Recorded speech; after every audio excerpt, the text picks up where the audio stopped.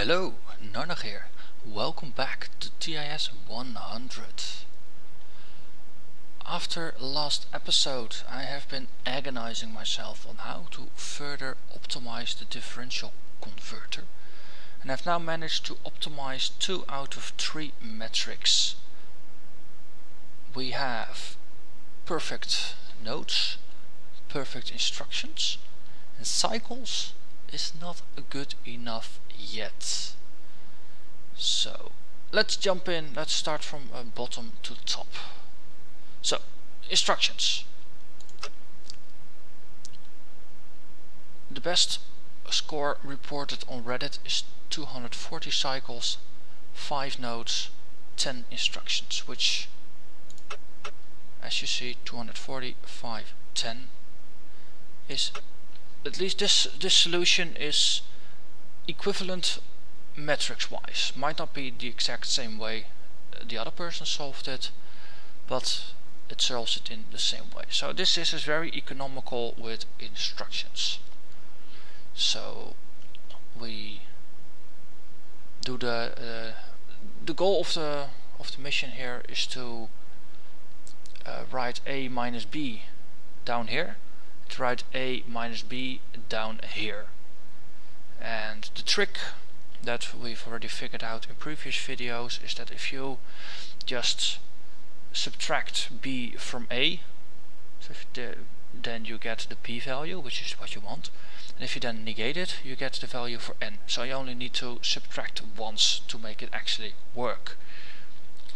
So we use that trick here to do the subtraction all the way up the top here so the value from b only goes here. We subtract it and then only one value has to be brought down. And then here we store it in ACC we send the, the proper value down since that's a minus b which we need to write here. Then we negate it. We move it to the right and we send it out here. And the reason we do this in here is that uh, this way we don't have to buffer it on this side. Because if you want a faster solution something that runs closer to 200 cycles then you want to move the math out of this node and get the total cycle count for this node down. So you want to maybe move something here or something there. Um, but in this case we can do it here since we already need to uh, uh accumulate it anyway to send a value down and to the right and this is how it works. So this is the, the lowest instruction count then we have a perfect node count again same as uh, the Reddit score 205.11 so here we are optimizing for node count which the other one had as well.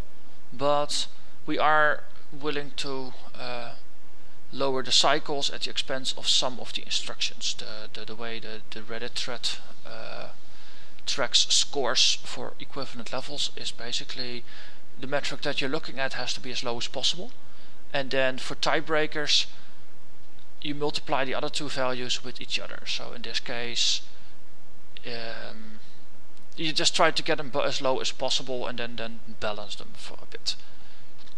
And this is, is basically similar as, as the other one, only rather than doing the negating part here and moving it down, we actually moved some logic to the side. So instead of having four cycles in this uh, node, we only have three.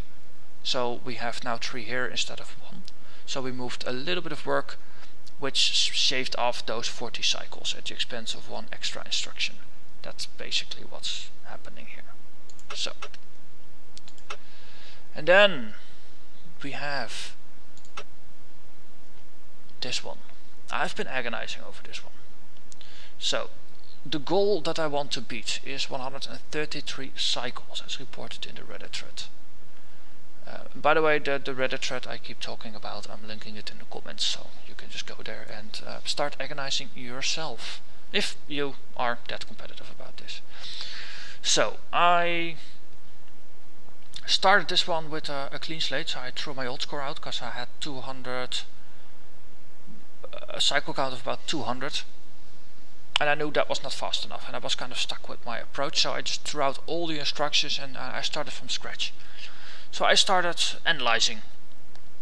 Okay, my other ones that optimize for node count and instruction count, they try to get a very narrow pipeline. So B goes to A, we do the subtraction, we send it down, we do the negation and we split it out. So it's a really really tight loop which got us to 200 instructions.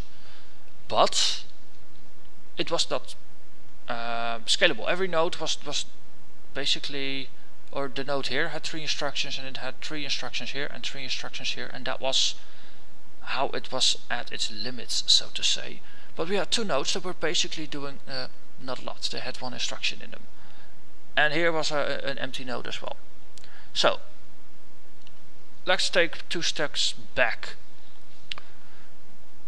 How do you speed something up when you can't speed up the operation itself. You start doing it in parallel. So you do it twice. So that's exactly what I'm doing here with my current approach, which is what I ended up with the, the 183. I do the subtraction up here already. So I take the, the value from up, put it in ACC, then the value from, from B goes in here and we subtract it and then we send it down. So a minus b goes down. But then we don't start, we don't loop. We actually take the value from up and we queue it up to go to the right.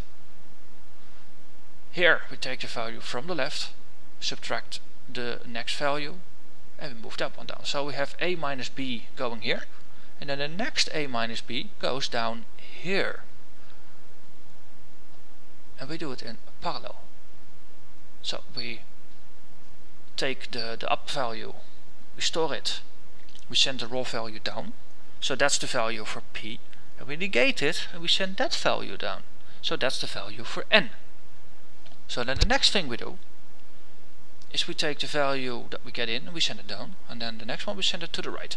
So the value for p we just flush it, and the value for n we send to the right, and then the first instruction here is to take the left value and write it down. So First time we do A minus B, send it down. Once raw, send it out. Second copy is the negation, which is sent down to the right.